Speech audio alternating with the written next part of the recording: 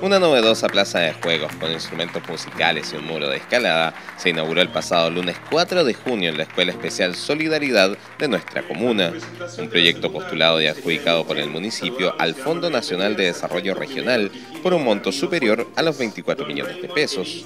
El principal objetivo de esta construcción es promover y potenciar el desarrollo integral de los niños y niñas del establecimiento, además de favorecer el juego y desarrollar sus habilidades motrices y musicales. La ceremonia de inauguración estuvo presidida por el alcalde Jorge Rivas y el director del establecimiento Víctor Amigo, quienes luego de la actividad hicieron un recorrido por toda la escuela para poder ver el avance que desarrollan estos alumnos bajo los distintos decretos que trabaja este establecimiento especial, como lo son el taller laboral de hierbas, las terapias complementarias a través de las flores de Bach, Push y California, además del taller de tierra de hojas, terapias kinésicas, entre tantas cosas más.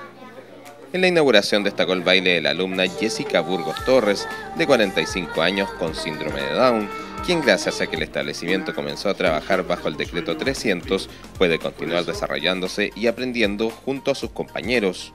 El alcalde sostuvo su alegría de concretar este gran proyecto que beneficiará a los niños de este establecimiento. Bueno, este es un espacio exclusivo para los niños de la Escuela La Solidaridad acá de la comuna de Mulchen. Es un espacio de juegos donde ellos pueden escalar, donde ellos pueden hacer ejercicio, pero también hay instrumentos musicales que ellos pueden utilizar. Este era un sueño de los niños del colegio, era una necesidad sentida, nosotros la consideramos eh, dentro de nuestro plan de trabajo, postulamos un proyecto, lo ganamos y hoy día vemos esta necesidad con una solución, vemos este sueño cumplido, en definitiva vemos un espacio habilitado para que los niños y niñas de esta escuela puedan disfrutar mientras que el director de la escuela, Víctor Amigo, destacó la importancia de estos juegos para los niños. Bueno, la importancia es fundamentalmente en el aspecto recreativo, ¿ya? Eh, una, de las problemáticas que se presentan en la escuela son los recreos largos, el largo el de la muerte, por ejemplo, donde los niños se aburren, no tienen mucha instancia de entretención. ¿ah? Entonces esta plaza para ese tipo de actividades es fundamental.